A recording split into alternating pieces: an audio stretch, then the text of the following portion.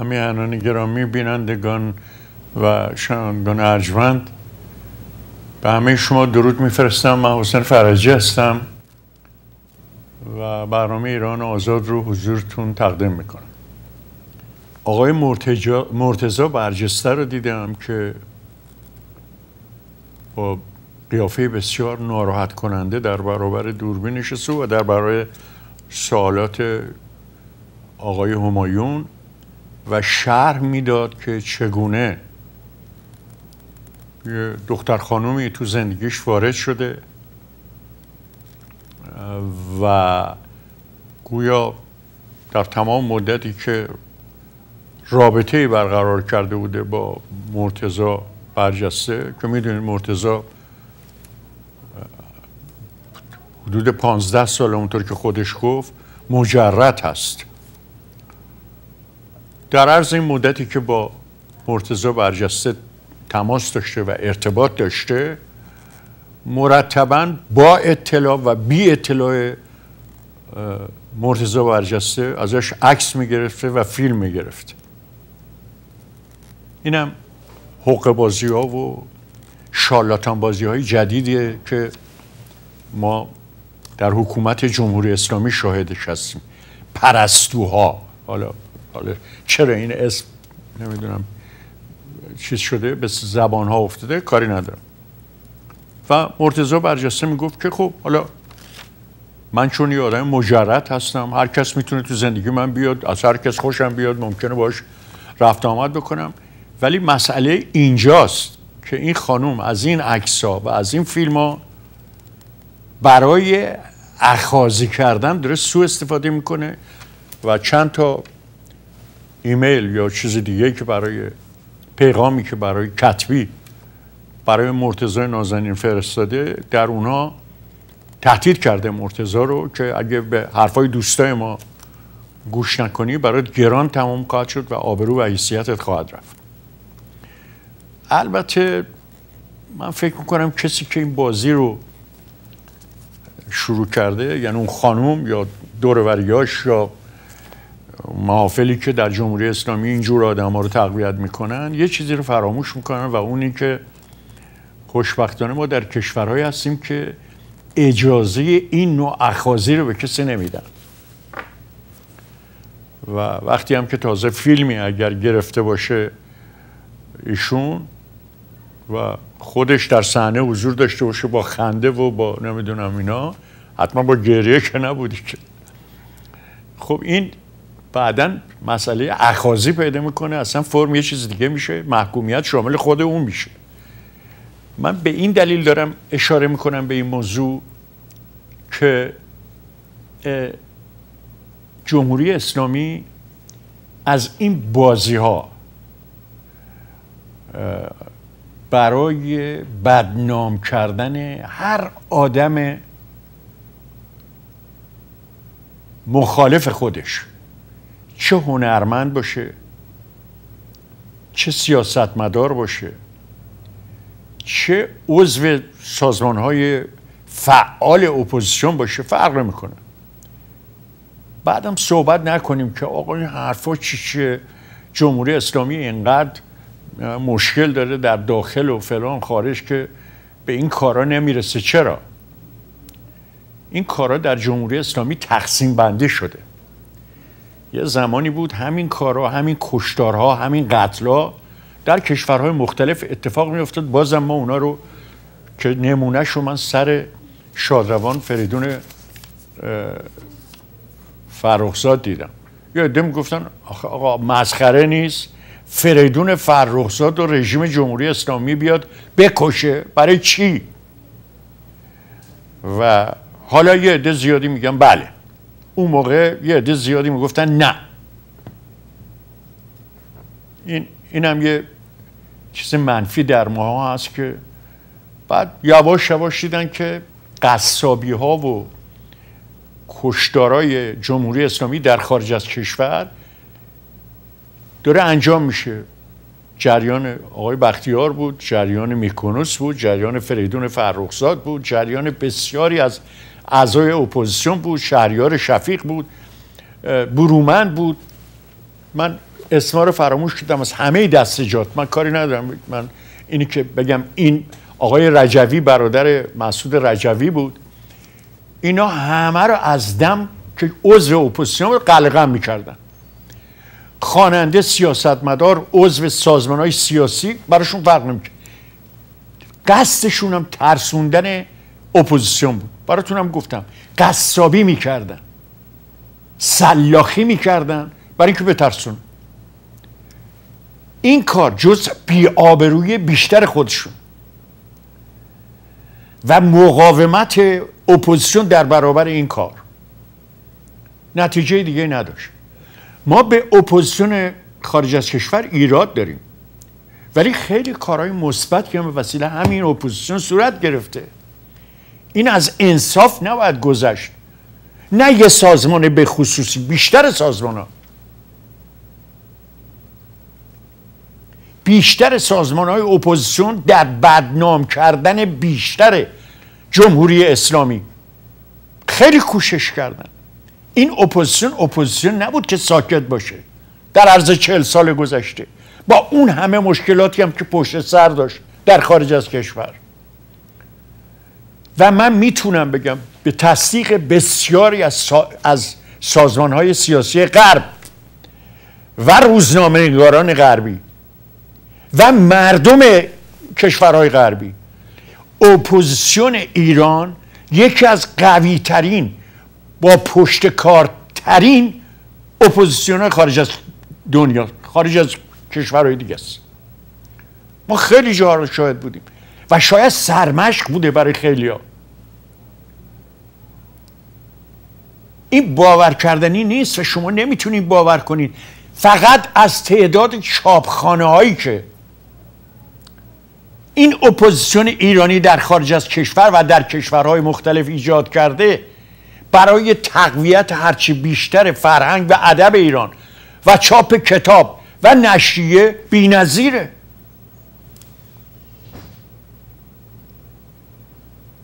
و یک تأسف عمیق من اینه که با وجود این همه نویسندگان نو که در خارج از کشور پدید اومده که دارن الان به زبانهای محلی و اون کشورهایی که زندگی می‌کنن نام چه در سوئد چه در آلمان چه در انگلیس خیلی داریم. ما نویسندگان نوع ایرانی بیشترش هم خوشبختانه تو خانوم هاست.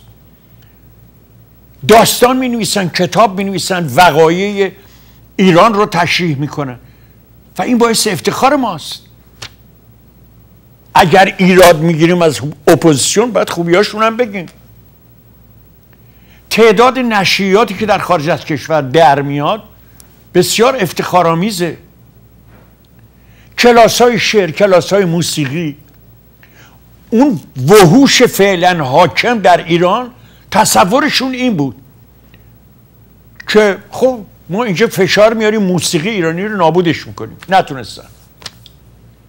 اول زنا رو می‌زنیم بعدم موسیقی دانا رو. یه زمانی بود زمان اون دوران طلایی اون آقا امام به قول آقای کروبی و آقای موسوی و بقیه رفقای اسلاچی دوران طلایی امام. شما یه ویولون یا یه تار دستت می‌گرفتی تو خیابون یقت رو می‌گرفتن. می‌گفتن این برای چی دستت می‌گیره را میفتی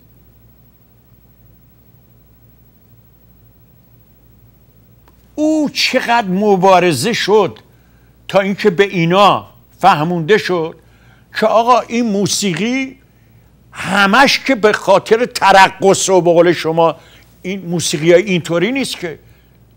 این موسیقی لازمه. بعد که دیدن تو سروداشون میشه از اینا استفاده کرد یواش یواش موافقت کردن. ولی دلیلش یه چیز دیگه بود. دلیلش این بود که عده زیادی از هنرمندان در خارج از کشور شروع کردن به توسعه موسیقی اصیل ایرانی و موسیقی پاپ. و این کار اینا ولوله ای در ایران ایجاد کرد. و اینا ناچار شدن خفه شدن. این وحوش. و یه مقداری دست رو باز تا تا همین الان صدای زن رو اجازه نمیده. اجازه نمیدن آلت موسیقی تو تلویزیون پخش بشه. فقط یه خواننده میاد می‌خونه اما کسی ساز دستش نیست نباید باشه. می‌بینید یعنی یه چیز من درآوردی در مورد یه دینی که هر آخوند بی سواد عقب افتاده نمی‌دونم. بیشتر اینام که عقب افتادن واقعا. با اون افکار کاردونک بستشون هی تونتون قوانین جدید برای به قول خودشون اسلامشون به وجود میارن. شب میخوابن صبح بلند میشن دو تا داستان جل می‌کنن دو تا آیه هم می‌خونن بعدم مزخرفاتشون رو عنوان می‌کنن.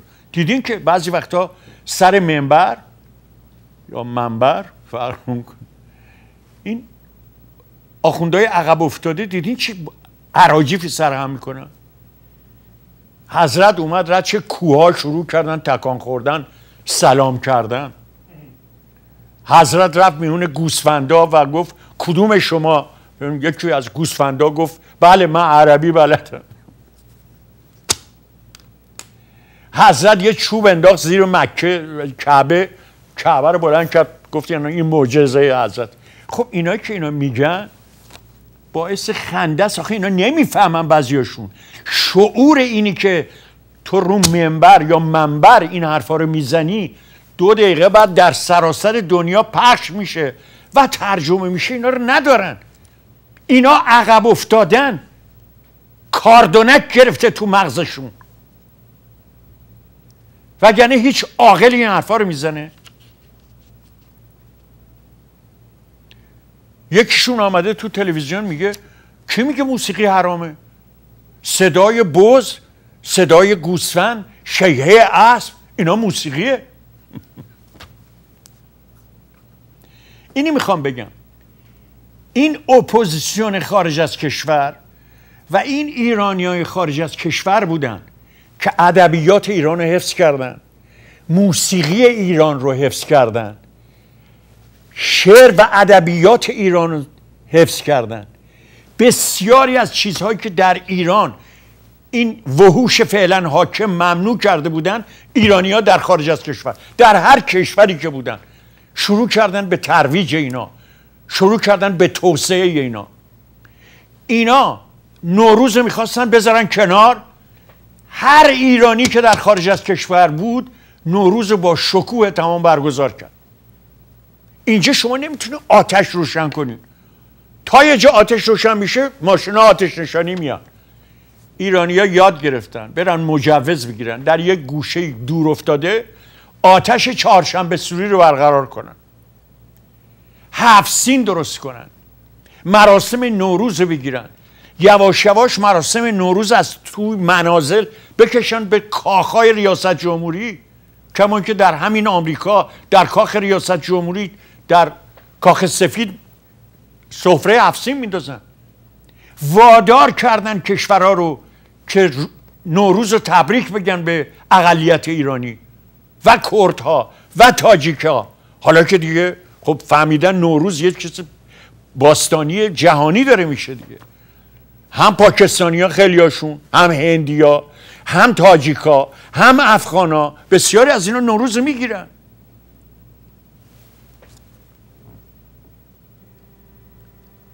خب اینا اگه کار نیست اگر افتخار نیست چیه؟ خب اینا رو هم باید از اپوزیسیون بگیم همه این کار انجام شده. اما یک کار اصولی دیگه نمی‌دونم چرا انجام نمیشه. و اون اتحاد بین نیروهای معتقد به دموکراسی و مردم سالاری. من تو این برنامه گفتم شااللهی حزب اللهی فرق می‌کنه هر کس که در عقیدش افراتیه شامل اینا میشه. یا آقای زنگ زده آقا من شااللهی هستم چرا به من توهین می‌کنی؟ من حرفی ندارم. من شما دیدید بیام اینجا به عقیده کسی توهین بکنم؟ فقط در یک مورد نمی‌تونم گذشت کنم.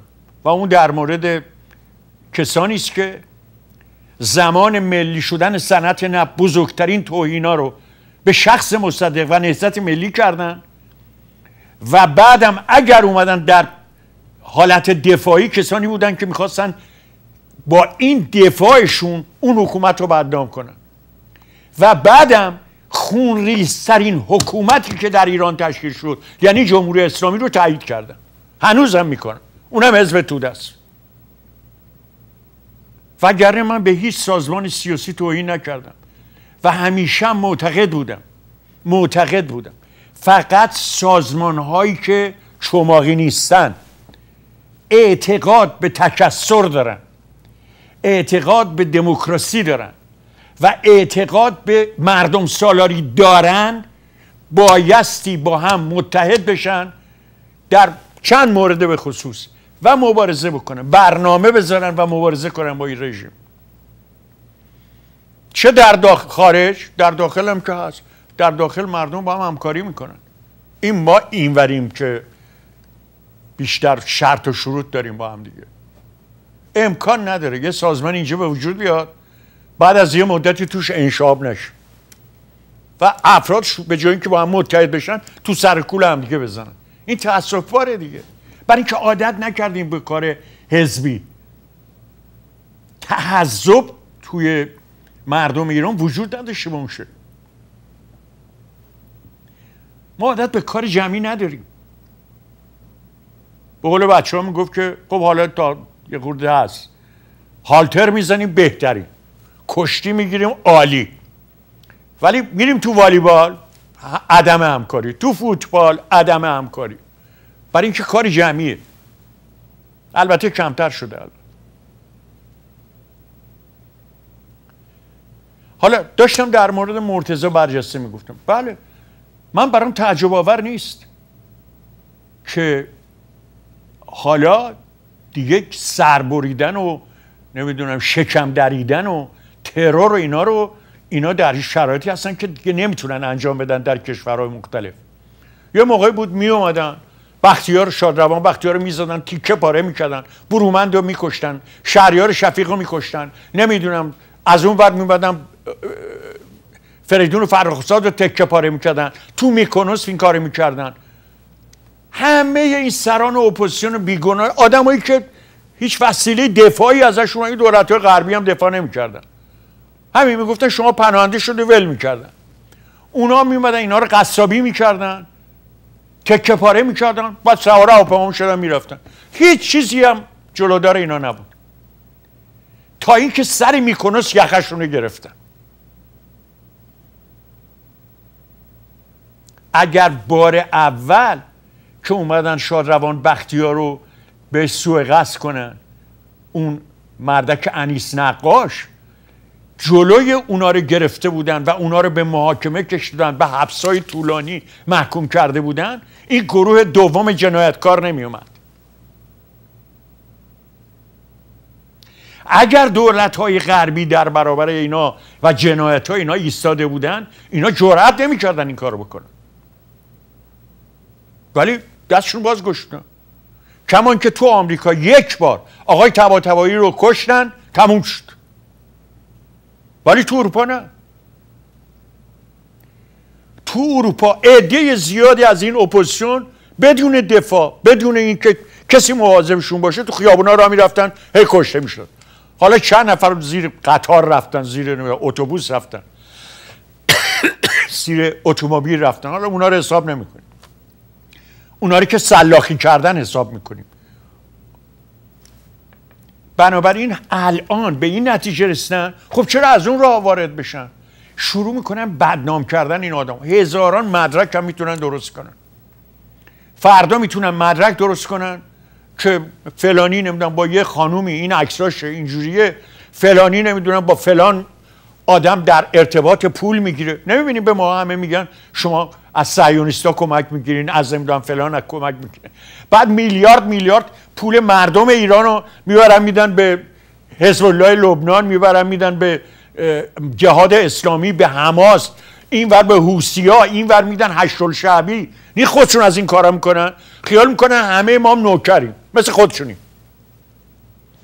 که اون زمانی هم که اینا به اصطلاح جزء اپوزیسیون بودن اپوزیسیون چی کنم؟ یا از قذافی پول می‌گرفتن یا از نمی‌دونم سازمان های دیگه در خارج از کشور. حالا ما هم همه رو همین کار کردن. یکی دو تا تلویزیون رو نمونه کردن برای فهاشی به بقیه. که آقا شما همتون نوکر دولت های خارجی هستین و نمی‌دونم فلان. ولی یه چیزی رو اینا فراموش کردن همیانان گرم اولا یادتونه که ما من یادم ما بچه بودیم. این وحوش می‌رفتن بالای منبر. و به ما یاد می‌دادن که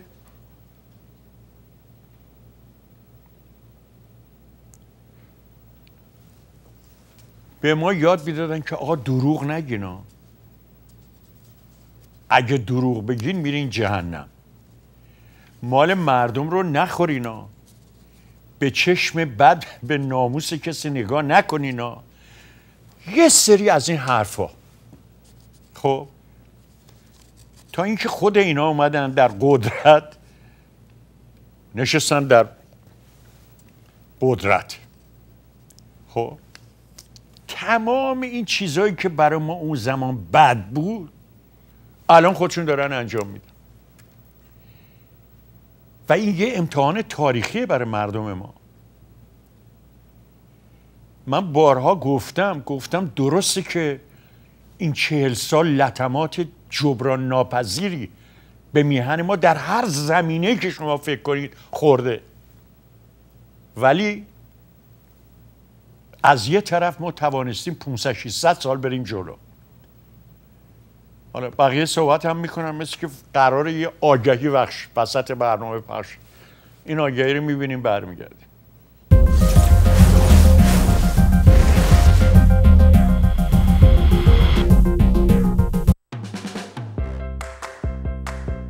با GLBox هرگز در سفرها تنها نیستید. اگر شما اهل سفر هستید و دوست دارید سریال های مورد علاقه خود را از دست ندهید، فقط کافی GLBox رو همراه خودتون داشته باشید و سریال ها یا برنامه های دلخواهتون رو در هر کجای دنیا فقط با وصل شدن به اینترنت بدون پرداخت هزینه اشتراک اضافی تماشا کرده و لذت ببرید.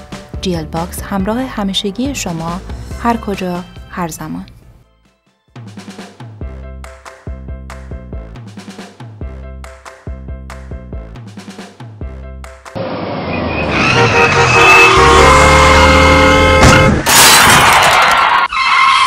تنتان سالم. در صورت بروز هر گونه تصادف بدون نگرانی به ما زنگ بزنید. دفاتر حقوقی آناهیتا شجره با همکاری وکلای مجرب بهترین سرویس و بالاترین خسارات را در کوتاهترین زمان برای شما دریافت می کند اگه تصادف کردین نگران نباشین. با ما تماس بگیرید We'll take care of you. تعمل نکنید. تلفن کنید. 1800 322 94 وقتی دوست داری همه رو با کسب و کار با کیفیت خودت آشنا کنی جی ویز بهت کمک می‌کنه که تبلیغات هدفمند انجام بدی. با این تبلیغات مقرون به صرفه می‌تونی بازار هدفت رو انتخاب کنی و مشتریهات رو با خودت آشنا کنی.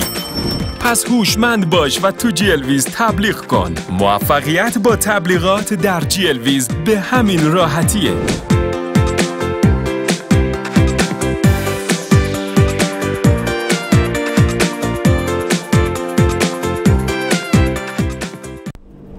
نه ما هنوز قسمت آخرش رو ندیدیم. خوب جی الویزی شدی یا؟ قربونه. خدافز کی بود؟ مامان. من جی الویزشون راه افتاد. آره بابا این تلویزیونشون جدید خودش اپ جی الویز داره. دیروز که رفتم براش نصب کردم. بعد این دوست مامانم اونجا بود. می‌گفت میشه برای منم نصب کنین. خب تلویزیونش قدیمی بود. بعدش چی کار کردی؟ بعد همونجا براش یه دونه روکو باکس سفارش دادم. دیگه الان هم احتمالاً رسیده به دست روکو باکس بله. الان می‌دونی که جی رو همه این باکس های هوشمند می‌شدید اپل تیوی اندروید باکس چون آمازون فایر بلوری روکو باکس کجا داری میری؟ والا رازم فوتبال. اصلا می‌دونی چیه؟ به نظر من هر کسی باید تو خونش یه جلویز داشته باشه. اون تو بهترین جلویزی شهردارترین و هجومی ترین تیم لیگ برتر فوتبال.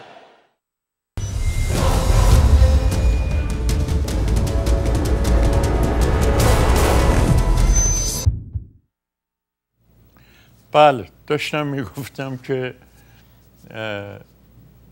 درسته که ما این لطمات رو از این وحوش فعلا حاکم خوردیم. ولی اینم باید قبول کنیم که ما 500 سالم جلو رفتیم. هیچ کس بجز این وحوش فعلا حاکم نمی‌تونست ریشه این خرافات رو اینطوری از بیخ و بون بکنه. و اینا این کردن این کار شما باور دارید که اگر یه زمانی این حکومت سرنگون شد مردم یه آخوند و حرفاشو قبول دارن. شما قبول دارین اگر داوطلبانه به مردم بگن دین خودتون رو انتخاب کنین مردم همینطوری در این دین میمونن. از بس که اینا دروغ گفتن به اسم دین و پشت سپر دین پنهان شدن. شما باور دارین؟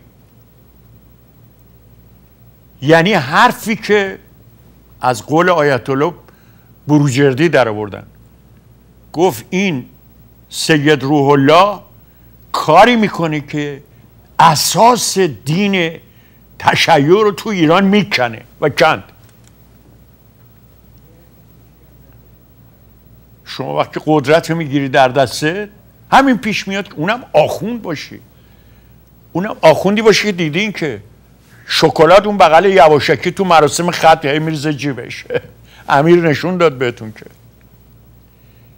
یه صحنه دیگه هست یه آخون میره توی فروشگاه هی چیزا رو هم داره میچپونه جیبش. صحنه های متفاوته جا هست یه آخوندی اینطوری نشسته تا دوربین می‌بینه شون که بعد میان تو خیابون حالا. خواهر چرا مواد بیرونه؟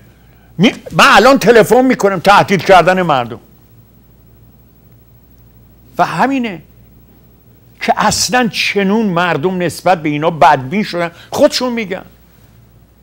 میگن آخونده از توی سایه بردن سوارش می‌کنن تاکسی ها می‌برن تو آفتاب پیادهش می‌کنن میگن آقا برو یه خود آفتاب بخور. دیگه اعتباری ندارن اینا بین مردم ایران. کی این بی اعتباری رو درست کرد؟ خودشون.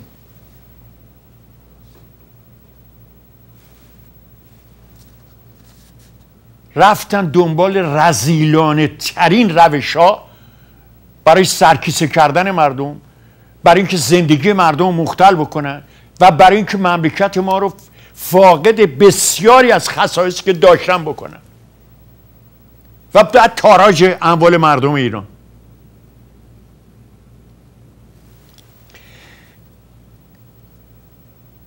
این در اختلافی که بین این لاریجانی و اون یزدی محمد یزدی دو تا دوز دو تا که هر دو عضو شورای نگهبانن جز تشخیص مسلحت نظامن و هر دو هم قاضی القضات این مملکت بودن در دادگستری بودن. این لاریجانی به اون یکی جواب داده که حالا اظهار پشیمانی کرده گفت غلط کردم اون نمی‌دونم. من نمی‌دونم قلمو کنترل نکردم. از این بهش گفتن آقا این کارا رو بکن دیگه کاری ندارم. برای یه آخوند برگشتن از حرفاش اول محکم می نویسه بعدم میگه آقا اشتباه کرد. اشتباه کردم. اشتباه ما میشه ما طلب ها از این کارا زیاد کردیم. اشتباهامون خودمون میگیم. آبرو حیثیت همدیگر می‌برن بعد میگن اشتباه شده. بگذاریم. این آدم میگه من نذارین اینو بگم.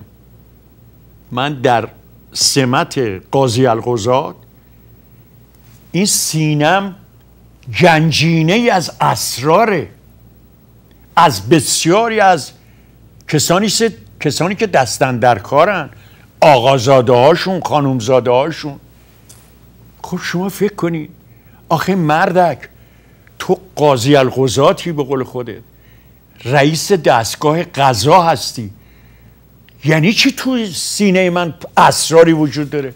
چرا اینا رو فاش نمی کنی تو موظفی. کارهای خطا رو بیای بگی تعقیب کنی مجازات کنی محاکمه کنی. فقط بلد این مردم عادی رو بچزونین به قول خودتون؟ آفتاب دوزا رو محاکمه کنین و نمی‌دونم دستشون رو ببرین و پاشون ببرین.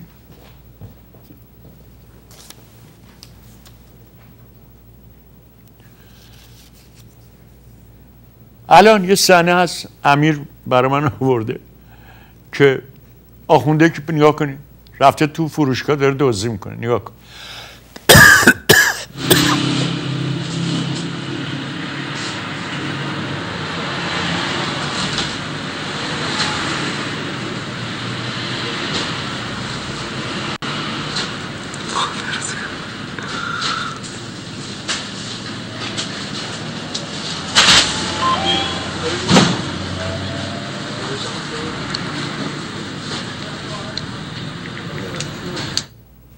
خب می‌دونه کسی هم به شک نمی‌کنه دیگه. البته حالا دیگه همه می‌دونن. تا یه آخوند وارد میشه همه نگاش می‌کنن. می‌بینید که الان یکی داره فیلم می‌گیره.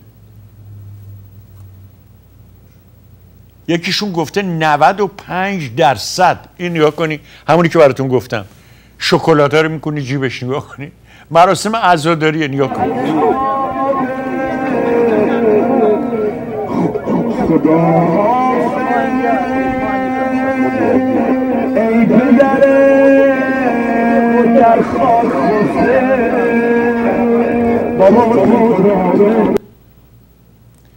ذاتا دزدن. یعنی یه دوتاشو نمی‌ذاره بهش. با همه رو میریزه تو جیبش.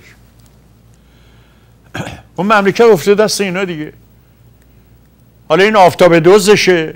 اونا که اون بالا نشستن الان یه سند و مدرک اومده راجع به دزدی های آقای قالیباف. یه فیلمش هم هست. نگاه کنید این فیلمو. ابهام در مورد بدهی های شهردار. نگاه کنید. ارسال گزارش بدهی میلیاردی شهرداری قالیباف به رهبر ایران تیتر امروز روزنامه آرمان ملی و بدهی میلیاردی قالیباف روی میز روحانی تیتر دیروز روزنامه شرق. صحبتها درباره بدهی های دوران شهرداری محمد باقر قالیباف و فساد و تخلفات مالی او حرف امروز و دیروز نیست.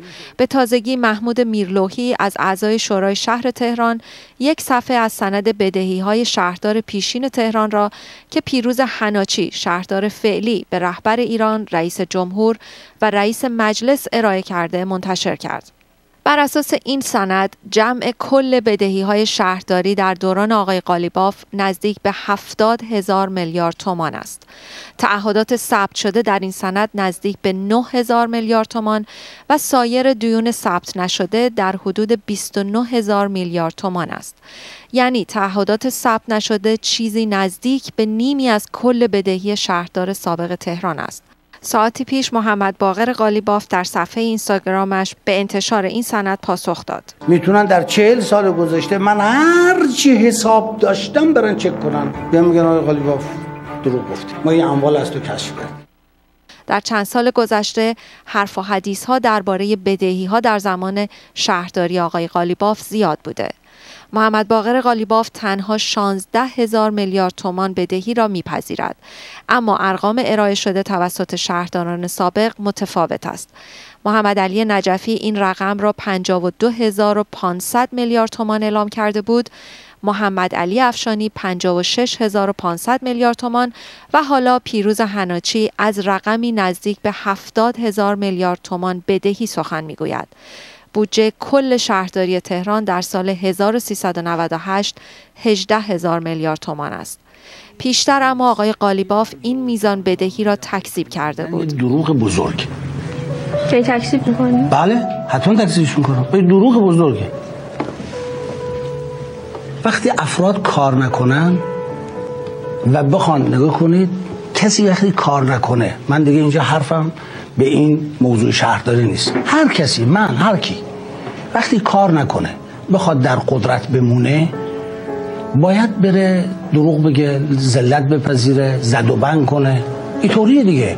متاسفانه ایشون مجددا همون ادعاهای قبلی خودش رو تکرار کرده و منکر بدهی ها و تهمت هم به مدیریت شهری و اعضای محترم شورا و آقای نجفی، آقای افشانی، آقای حناشی که هر کدام این مطلب رو حالا با همه محضورهایی که دارن و نمی‌خوان خیلی تبلیغ بشه این عدد به جهت محدودیت هایی که برای فعالیت ها و هر شود که جلب سرمایه گذاران ایجاد می‌کنه ولی متاسفانه ایشون باز هم همون حرف رو البته با یه ادبیات سخیفی محمود میرلوهی چندی پیش با شکایت مستقیم محمد باقر غالیباف به شش ماه حبس و 74 ضربه شلاق محکوم شده بود. گفته می شود دلیل شکایت مصاحبه های او درباره فساد گسترده و واگذاری املاک نجومی در دوره شهرداری آقای قالیباف است. یاشار سلطانی روزنامه نگاری که درباره تخلفات شهرداری مدارکی منتشر کرده بود هم چندی پیش به پنج سال زندان محکوم شد. مقام های زیادی هم در چند سال گذشته درباره املاک نجومی و فساد در شهرداری تهران در زمان آقای قالیباف صحبت کردند. از جمله دادستان کل ایران که تخلف قطعی در واگذاری املاک در شهرداری را تایید کرده بود. من یه وقتی گفتم گفتم اگه من بیام تو دولت اما علا رقم تمام این حرفها و حدیث ها تا امروز هنوز محمد باقر غالیباف به هیچ دادگاهی برای پاسخگویی احضار نشده. مریم افشن. خب. شما شاهدین که امیران گرامی جریان ایرانیان داخل ایرانیانی که در ایران زندگی می‌کنن به جایی رسیده که مثلا اعلام می‌کنن در گرجستان شما می‌تونید بدون ویزا مسافرت کنید. تمام هواپیماهایی که از تهران اصفهان شیراز تبریز من نمی‌دونم اینجا پرواز می‌کنن پرواز خارجی دارن فرض کنید به گرجستان همه پره. ده ها هزار ایرانی میریزن توی گرجستان. شروع کنن خرید کردن خونه خریدن اگه اجازه داشته باشن که یه مدت اینطوری بود. مغازه می‌خرن شرکت باز می‌کنن فلان می‌کنن که یه راه یه تخت پرشی باشه که از گرجستان بیان کشورهای دیگه. بعد اعلام می‌کنن فرض کنید در ترکیه شما اگه دویس هزار دلار بدین می‌تونین پاسپورت شهروندی ترکیه رو بگیرید ده ها هزار نفر میرن قرض و غوله و بادیه و اینا رو میفروشن تا بتونن این پول جمع کنن اونجا برن. و باور کنید اینو من به زرس قاطع میگم. هر کشوری اعلام بکنه که ما می‌تونیم این شرایط آسان رو برای ایرانیا در نظر بگیریم ایرانیا در میرن میرن اونجا. تا از این بهشتی که این روزخان ها این وحوش برای ما درست کردن آزاد بشن. بچه های خودشون که دزدی می‌کنن و بچه هاشون رو میفرستن خارج از کشور. که اگه یه اتفاقی هم افتاد خودشون هم با حاج خانم اینا سوار هواپیما بشن درن. خب؟ می‌دونی که یکیشون شهردار قوم گفت آره من شش تا بچه‌م اونجان ولی اینا کسانی هستن که سخنگوی پیشرفت های جمهوری اسلامی هم پسرش فوری در امریکا مصاحبه کرد گفت نه من نه تنها از جمهوری اسلامی دفاع نمی کنم بلکه به ایرانم بر نمیگردم. این حرفایی هم که پدر من زده مصرف داخلی داره. کجا برگردن؟ پولاری که باباها دزدیدن در اختیار اینا گذاشتن اینا آمدن خارج از کشور. خودشون میرن اونجا چه جهنمیه. و این مردم چی بگم مظلوم ایرانن که قارت شده پولی هم در بساط ندارن همه در آن بسته است این که آقای ترامپ کاری کرده که یه ایرانی بخواد بیاد از دو هزار تا سوراخ و فیلتر باید رد شه. اروپایی هم که همینطور. استرالیا و کانادا و همه جا همینطور. در داخلم که یه جهنم واقعی. حالا نگاه کنین. آقای پوریا جلالی پور. ورزشکار ایرانی که برای شرکت در مسابقات تیر و کمان به هلند اعزام شده بود با پایان بازی ها از بازگشت به ایران خودداری کرد. این دیروز اتفاق افتاد. اون یکی مولایی که در رفت. حالا گوش کنید این جالبه. ورزشکارانی که تا حالا در رفتن. پیش از این سامان تحماسبی برنده دو مدال برونز کشتی فرنگی جهان و طلای قهرمانی آسیا. سباه شریعتی برنده مدال نقره کشتی فرنگی بازی های اروپایی. راهله آسمانی تکواندوکار ایرانی. میلاد بیگی سینا بهرامی هر دو تکواندوکار آلش مرادی استاد بزرگ شطرنج ایران. بشرین پاکتر ملی پوش قایقران از جمله ورزشکاران ایرانی بودن که فرار کرد. فرار کردن. رفتن از کشورهای که توش مسابقه داشتن. گفتن آقا ما می‌خوام بیایم پناهنده بشیم. خب اینا من خدا می‌خوان. شما ورزشکار باشی مدال آوردی. بیای اونجا فوری استخدامت می‌کنن الان فدراسیون بینالمللی جودو تایید کرد که سعید مولایی قهرمان جودو ایران درخواست پناهندگی داده. و رئیس فدراسیون کل جودو گفته بله ما همه امکانات رو در اختیارشون می‌ذاریم. به این گفتم برو بباز برای اینکه با اسرائیلی روبرو نشی. می‌بینی؟ حماقت یه حکومت رو می‌بینی. یه قهرمان میره کار می‌کنه ورزش می‌کنه. پدر خودشو در میاره. برای اینکه بیاد جلو بهش میگم برو خودتو ببازون. یه فیلم دیگه هست. بلایی که ما سر محیط زیست آوردیم. همین انانی گرامی. یعنی ما نه دولت های خارجی دیگه. مثلا آقای ترامپ اومدن گفتن که من زیاد به این جریان محیط زیست اعتقاد ندارم.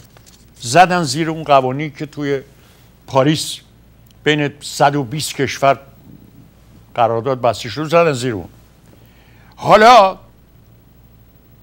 سرعت آب شدن کوههای یخی گرینلند. به این فیلم نگاه کنید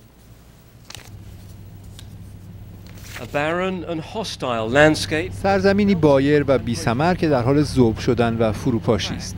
این شکاف های عمیق محل به وجود آمدن کوههای یخی آنها به زودی ذوب شده و به اقیانوس سرازیر می شوند از نزدیکتر به آنها نگاه می کنیم سطح شبیه سطح کره ماه است خاکستری و سیاه توأم با گرد و غبار و جلبک های خیلی ریز. همه اینها رنگ این یخچال های طبیعی را تیره تر کرده و موجب ذوب سریعتر آنها می شوند. من این پدیده را به چشم خود دیدم. سال 2004 که به اینجا آمدم این یخچال خیلی بلندتر از قد من بود. ارتفاع این یخچال عظیم داره یک متر در ماه کم از بار قبل که اینجا بودیم سرعت بالا رفتن دمای این منطقه نسبت به متوسط جهانی دو برابر شده و تاثیر این موضوع روی یخچال ها تکان دهنده است در سال 2004 ارتفاعش 100 متر بیشتر از الان بود معادل یه ساختمون سی طبقه. حالا همش داره به سرعتی باور نکردنی از بین میره. این خط‌چین نشون دهنده متوسط ذوب در ده سال گذشته است. جیسون باکس روند ذوب شدن این یخچال طبیعی رو ردیابی کرده. این خط قرمز هم امسال رو نشون میده. می‌بینید که از میانگین پایین تره در واقع ذوب یخ در این منطقه رکورد زده.